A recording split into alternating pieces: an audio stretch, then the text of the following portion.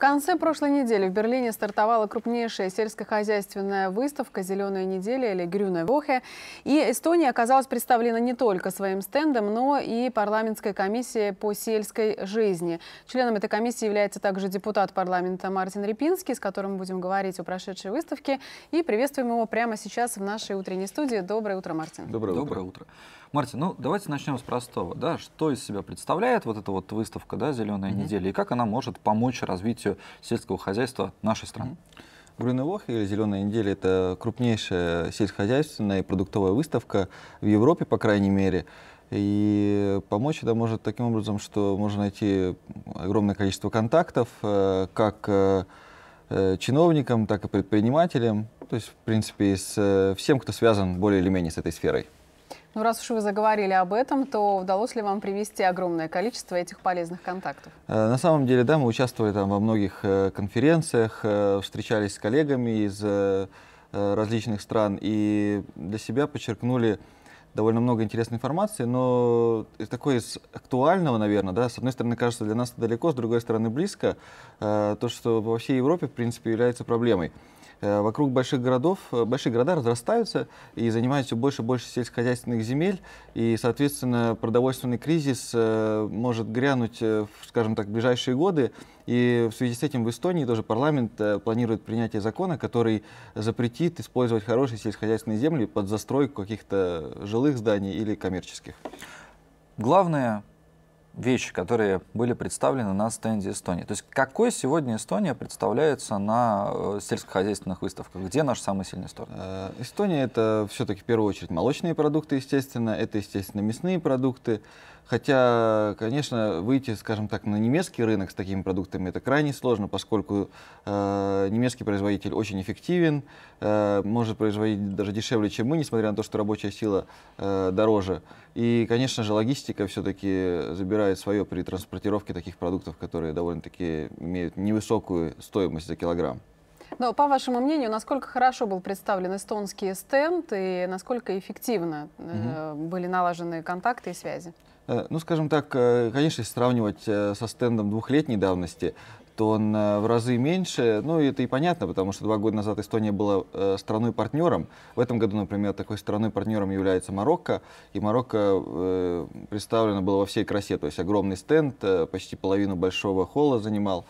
Эстония, конечно, в этом году была очень скромно представлена, но я думаю, что не это главное. В принципе, Э, да, конечно, хотелось бы площадь побольше, я надеюсь, что в следующем году удастся этого добиться.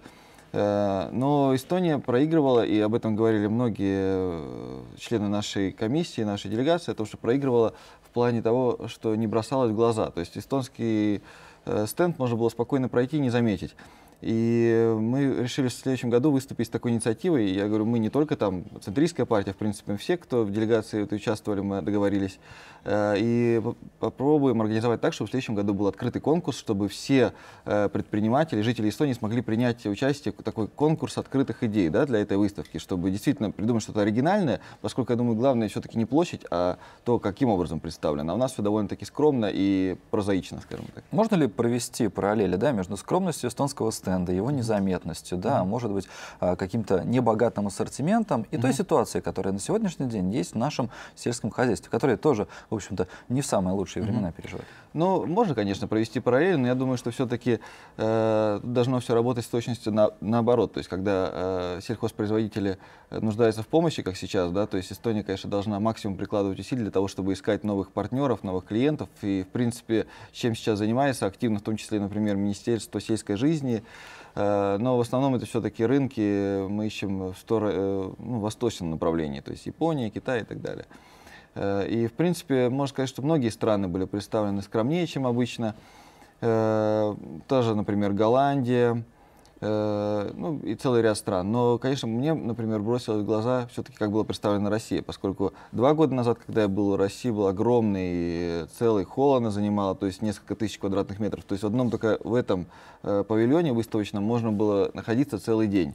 Э, были разные праздники, там танцы, все что угодно. В этом году было ну, чуть-чуть больше, может быть, чем эстонский павильон, то есть тоже можно было спокойно пройти, не заметить, в принципе, если не искать целенаправленно. И это, естественно, отражает эту общую геополитическую ситуацию и то, что российский производитель понимает, что ему сейчас нет смысла что-то искать на европейском рынке. 23 раз Эстония участвует уже в сельскохозяйственной выставке «Зеленая среда», «Зеленая волна», прошу, «Зеленая, Зеленая неделя», неделя да. прошу прощения, да, всех перебрала. А, есть ли какой-то эффект от этого участия вот за эти 23 раза? Конечно, есть эффект. Его сложно э, оценить э, адекватно, скажем так, точно, как-то в цифрах, но, э, может быть, эстонский производитель не столько вышел на немецкий даже рынок через эту выставку. В Германии тоже представлен наш производитель, но это в основном какие-то небольшие сети, специализированные. То есть есть, например, такие сети, которые сейчас э, в Германии растают, э, набирают популярность, которые именно созданы для русских, поскольку очень много э, русскоязычных, русскоговорящих людей в Германии. И в этих сетях представляются очень активные эстонские производители. Э, но там находятся также контакты и с другими странами, с теми же соседями, то есть, например, Финляндия, Латвия. Там очень много можно встретить э, коллег из, э, ну, как предпринимателей, так и политиков из соседних с нами, с нами стран. И я думаю, что я общаясь с предпринимателями, не раз они упоминали о том, что на этой выставке удавалось наладить какие-то контакты даже с ближайшими соседями.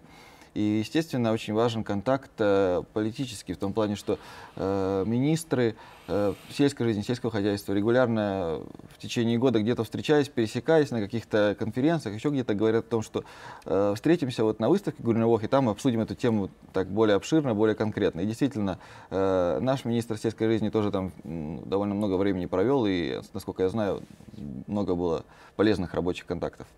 Депутат Риги Когу, один из членов парламентской комиссии по сельской жизни Мартин Рябинский был у нас сегодня в гостях. Спасибо, что пришли. А мы сейчас после темы выставок перейдем к теме музыкальной. Прямо сейчас музыка на ваших экранах.